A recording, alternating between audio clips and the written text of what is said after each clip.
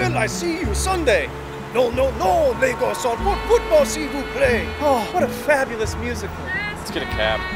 Wait, you didn't like that? That's the best musical I've ever seen. Of course I liked it, Mat. It's the number one musical on Broadway. Tony's out the asshole. I enjoyed every second of it because it's fucking great. Then why the long face?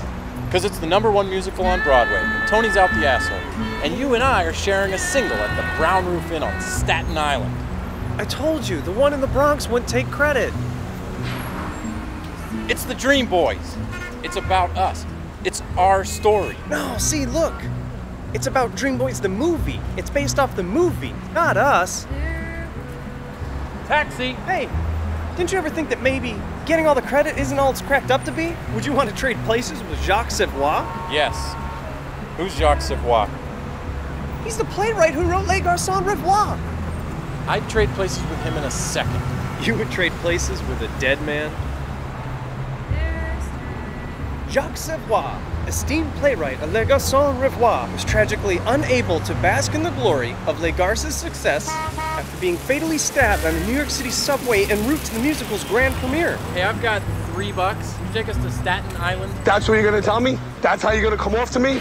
Don't you dare come off to me like that, because I'll hunt you down like cattle and I'll gut you. Do you understand?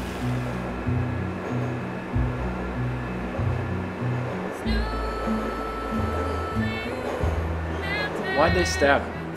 Huh? Jacques Savoy.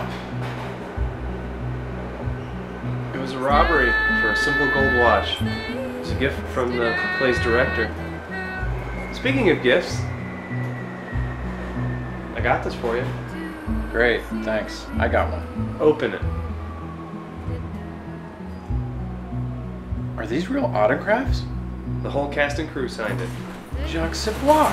Yeah, How'd you get this? This must be worth a fortune. you're my best friend.